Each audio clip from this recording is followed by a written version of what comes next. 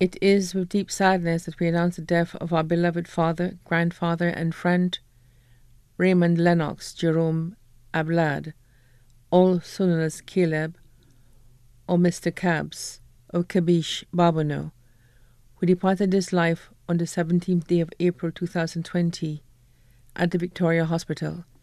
He was predeceased by his wife, Clotilda Abelard, his daughter, Helen Bernard, and grandson, Geoffrey Abelard, left to mourn his daughters, Elita Joseph, also known as Sasha of Gros Islet, Ursula McLaurin, also known as Samantha of Kabish Babonneau, Aurelia Abelard of Active Hill Clary, Juliana Abelard, also known as Delma of Gros Islet, Caranza Abelard of Kabish Babonneau, Brother Willie George, also known as Wilson of Kabish Babonneau.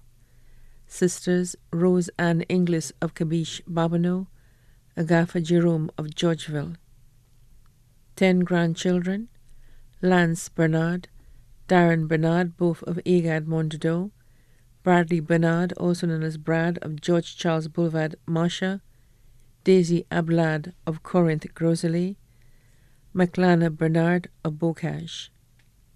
10 grandchildren, including Igna McLaurin of Kabish, Gros Islet, Erica Abelard, Delmahan Abelard, also known as Kalito, Janaki Abelard, Makiba Jihad, all of Gros Islet, 11 great grandchildren, four nieces, including Beverly Inglis of Balata, three nephews, including Hector Inglis of Balata. Left to mourn other families and friends, including the Johannes family, the Prevel family, the Jihad family, the Inglis family, the Jeremy family. His close friends, including Moke, Apache, Cyprian, Mr. Hugh, Two Boy, all of Kabish Babonneau, his pet Dolce, the entire Kabish community.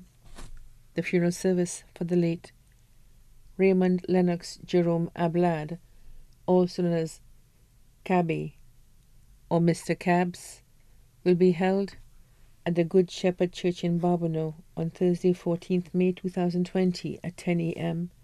and the body will be laid to rest at the Tiroshire Cemetery. The body now lies at Creek's Funeral Home, Bidbutai. May his soul rest in peace.